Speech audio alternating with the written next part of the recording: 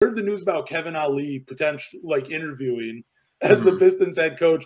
I don't think he's an actual candidate. I mean, good for him to actually get the interview. That's cool. But there was a lot of negativity of Pistons fans.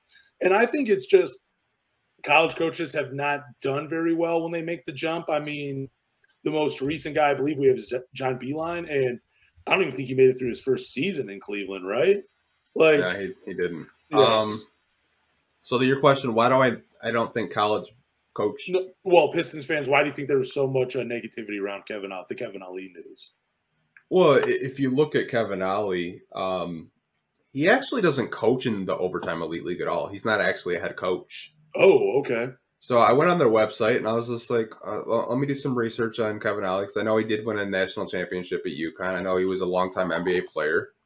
Um, looked on overtime elite. He's more of a development coach for all the teams down there. So he's more of just a, a development coach down there.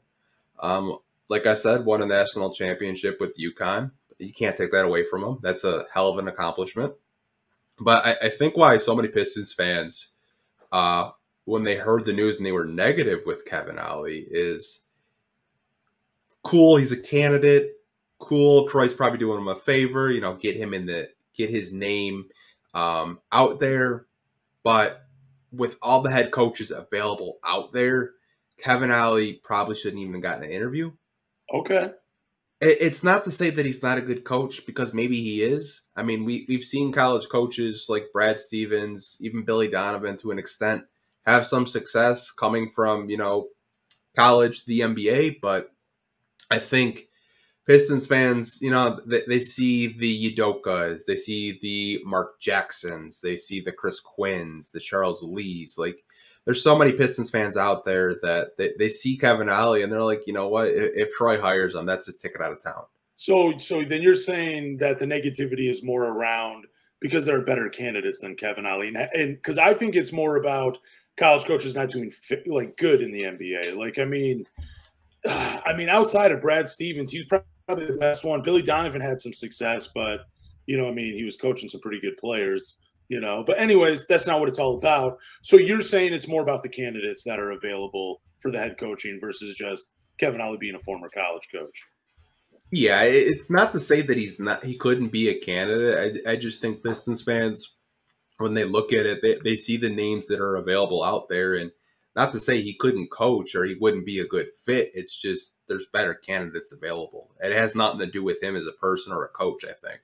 Okay, because I was just more convinced. That makes more sense though, because there are some good candidates that are coming in to be interviewed by the Detroit Pistons. It's yeah. just that I just thought Pistons fans were just being so negative around the news of Kevin Ollie because he is a former college coach, and, for, and college coaches have not done well. I mean, like I said, John Beilein, he left a terrible taste in most people's mouths as a head coach for the Cavaliers. Like you look at that and you're like, ooh, I want this guy to be here for a few years. Not and the last college coach couldn't even make it through a full season. So, but it makes more sense that it's candidates. Yeah, like I, I don't, I don't even think that uh, he would be a bad fit on an NBA team, but I, I think it would be more of an assistant role. Okay. Um, kind kind of earn your stripes, you know. Yeah, Even though he, he, he, was an NBA player, you know, I, I remember him on the 76ers. Um, and I, I, think he retired with OKC in 2009, if I do remember correctly. So, um, like I said, Troy, Troy was in OKC's front office during that time. So, you know, he's probably just doing him a solid, you know? Oh, okay. That makes sense too.